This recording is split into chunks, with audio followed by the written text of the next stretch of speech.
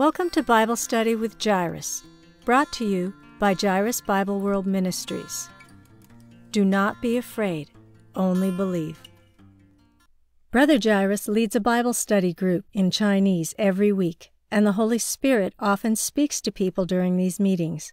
We felt compelled to share some of the revelations we received from the Holy Spirit, and we hope these studies will reach and benefit more listeners. All scripture is quoted from the English Standard Version, unless otherwise noted. Thank you for joining us. Bible Study with Jairus, Leviticus 12. Leviticus 12 is a short but intriguing chapter. In this discussion, we will focus on the specific laws, which may seem strange to us today. This chapter describes how when a woman gives birth to a son, she will become ceremonially unclean for seven days and must stay at home for 33 days. But when she gives birth to a daughter, she will be ceremonially unclean for two weeks, and she must stay home for 66 days. This discussion will focus on that law and the reason for the differences. Leviticus 12 1 through 5. Why does it take twice as long for the woman to be unclean when giving birth to a daughter? Does the Bible discriminate against women? It may sound this way to the modern ear, but when we take a closer look and understand the culture of the time, we realize that this is not a discrimination against women. When a woman gives birth to a boy, she will be ceremonially unclean for seven days, but on the eighth day the boy is to be circumcised. Leviticus 12:3 NIV. This represents that the flesh is being dealt with. But the girl will not be circumcised. So it took twice as long being unclean, which means that it would take longer to experience spiritual cleansing and become spiritually mature. Boys also represent a strong part of the people of God. They are willing to accept being circumcised by God, which represents dealing of the cross and becoming a strong people of God. Girls represent a weak part of the people of God. They may not have experienced circumcision and the cross, so they need double grace and additional time to being perfected by God before they can become clean and mature. This does not mean that girls are inferior to boys. David established a principle that those who went out to battle and those who stayed with the supplies would both share the spoils. It is not only those who go to battle who benefit from their victory. Those who stayed home also benefited.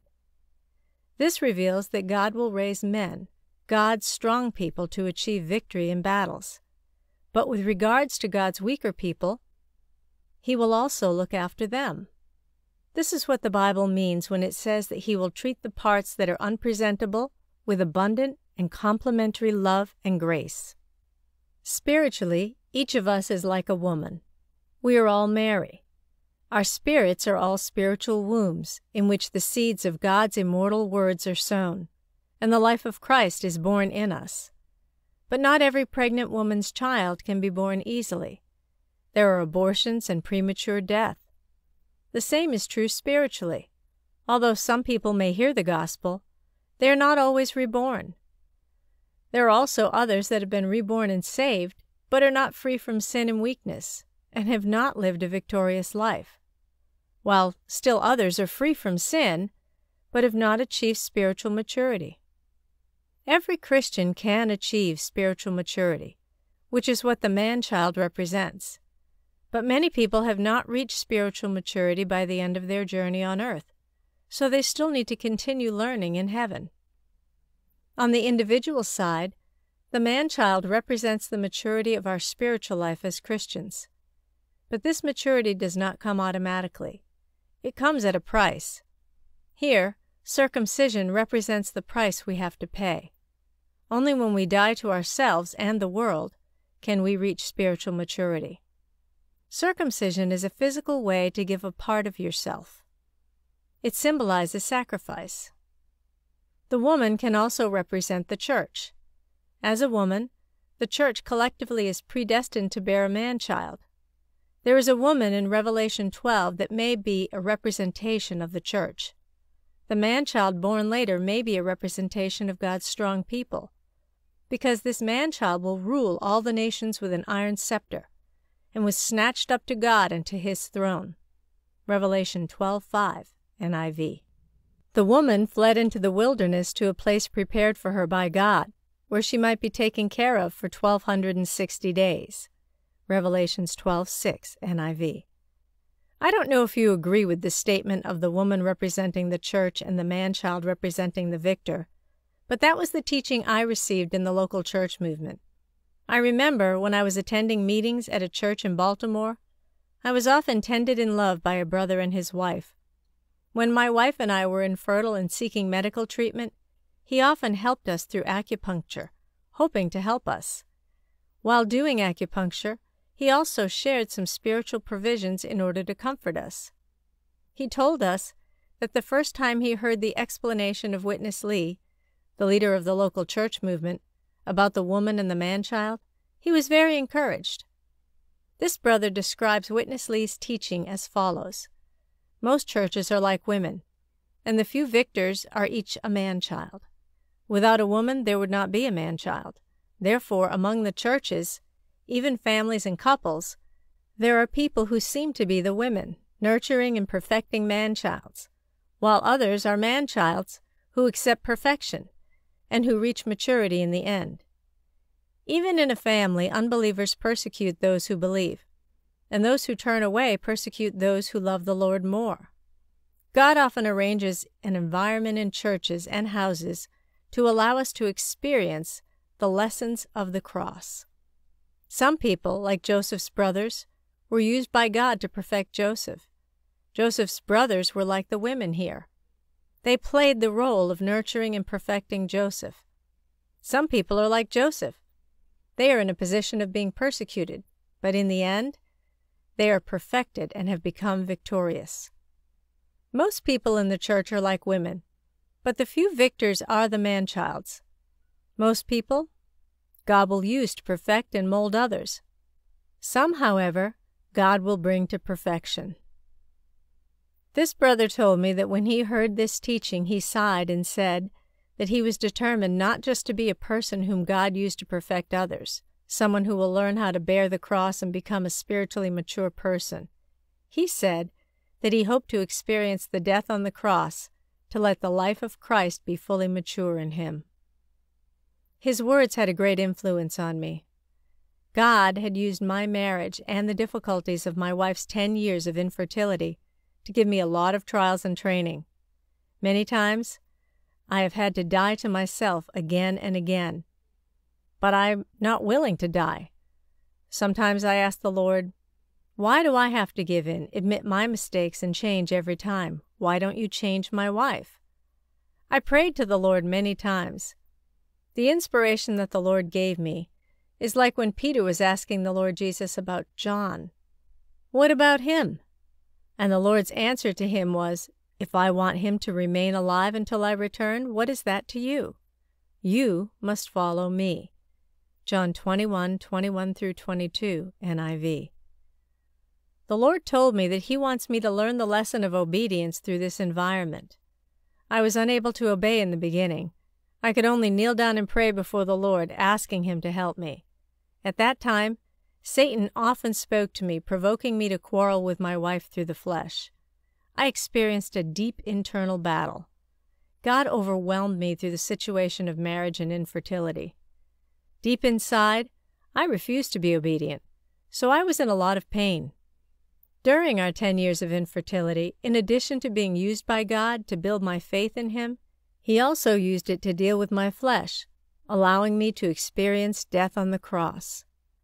After a long process with countless prayers and tears, I finally gradually moved toward being obedient to God. I am also grateful for the marriage God had arranged for me.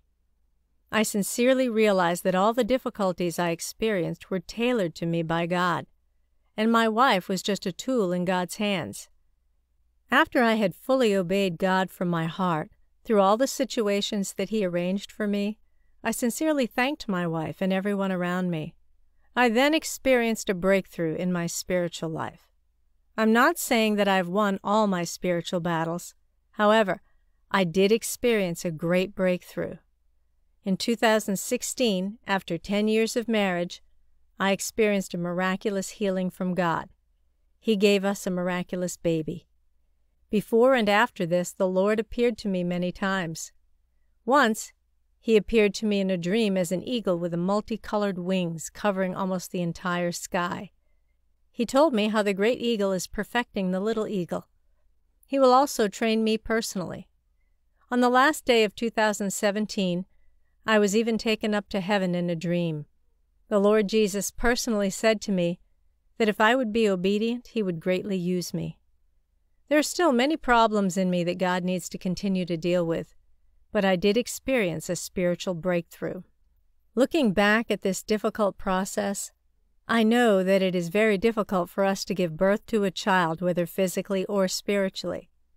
Many people long for spiritual maturity, but not everyone is willing to pay the price. I rarely talk about this experience.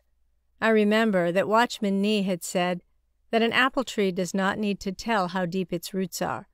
As long as it bears a lot of fruit, others will know how deep its roots are. Similarly, a spiritual person does not need to talk about how he experienced the cross. As long as he lives the abundance of life and bears rich fruit, others will know how deep he has been dealt with by the cross. It is also okay if I choose not to obey. I have my own free will. But then, God's calling for me will be hindered. I remember hearing the testimony of Kathryn Kuhlman, a healing evangelist. She said that when God gave her the healing anointing, He told her that she was not His first choice. Before that, God tried to give this anointing to another man, but that person refused to obey. So God did not give him this anointing. Therefore, as an individual Christian, many people may not be able to give birth to this child. This child may be salvation or spiritual maturity, or it may be a ministry entrusted to us by God, or obedience to God so that God can use us. Many times, obeying the Lord is a difficult task. I know when I obeyed, I was able to receive from God and grow mature.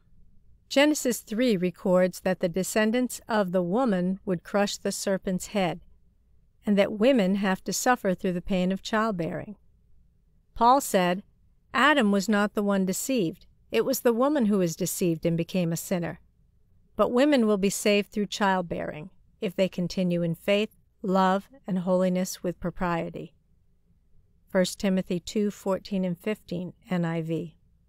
Christians have many different views with regards to the meaning of women will be saved through childbearing. My personal view is that not only can women be saved because they have suffered, but they can always have children through childbearing, and they may become the woman who bears the descendant of the woman.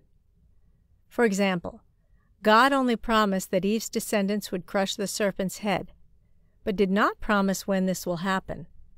The descendants of the woman may refer to Christ because he crushed the serpent's head on the cross.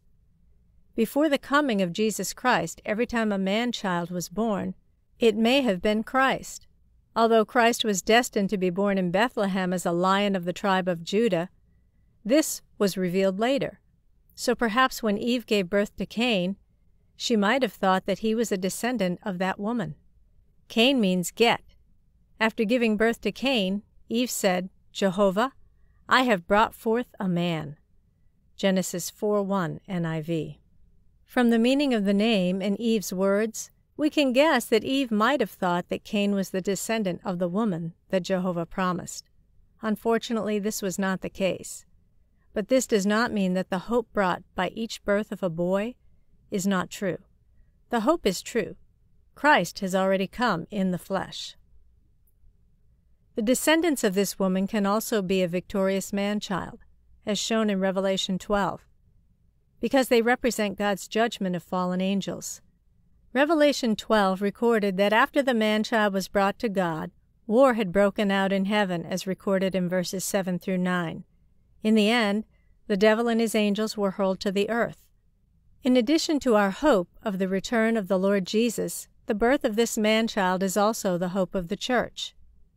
The most important thing for each of us as Christians is to be spiritually mature on earth and give birth to the man child in ourselves.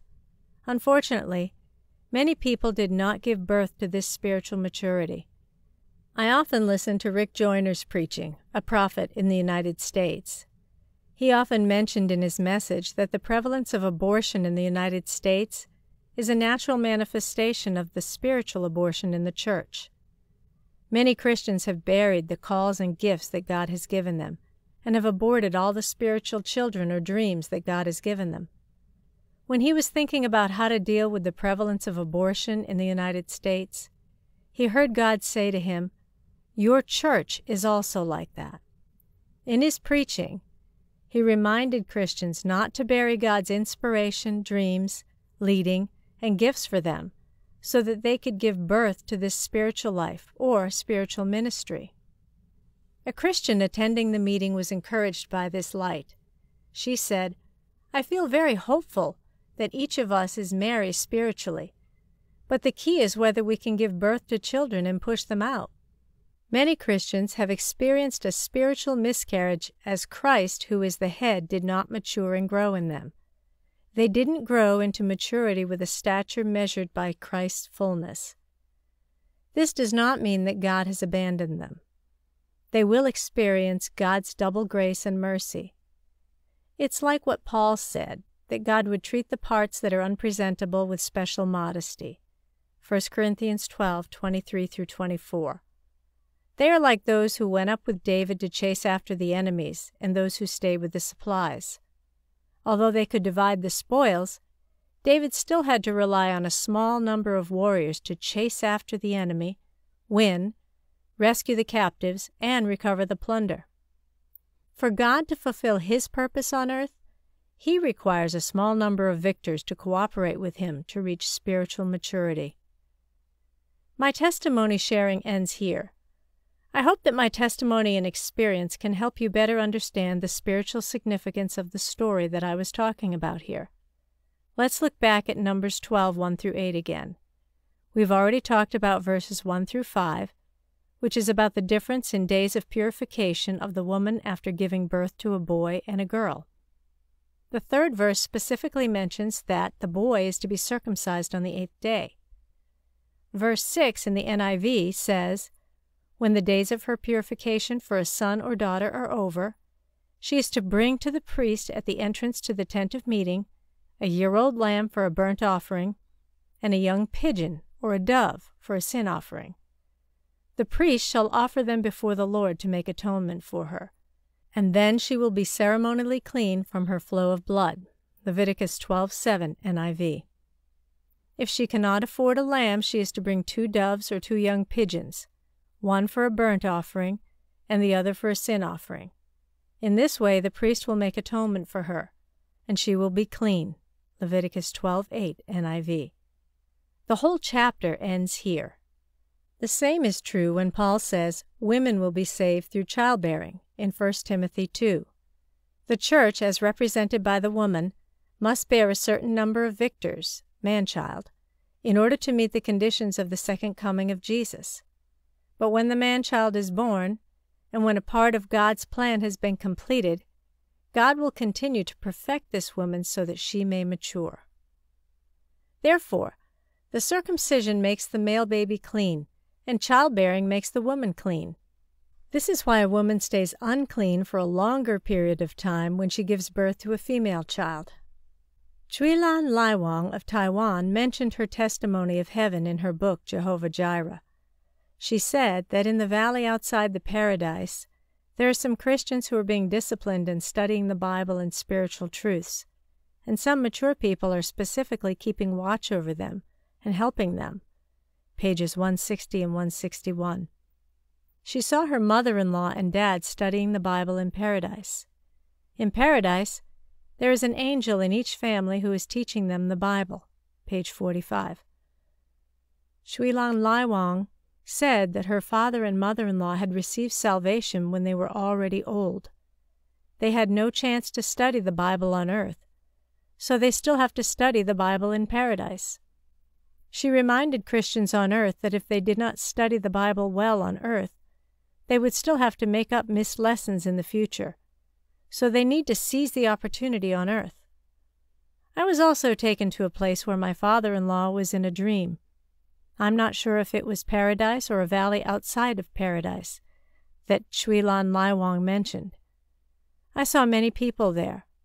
An old Chinese lady sitting at the door even showed me the large print Bible she was reading. I believe that my father in law did not believe in the Lord during his lifetime, but I believe he did not perish, nor was he in the lake of fire. Thank God they still have the opportunity to continue to study the Bible in the afterlife.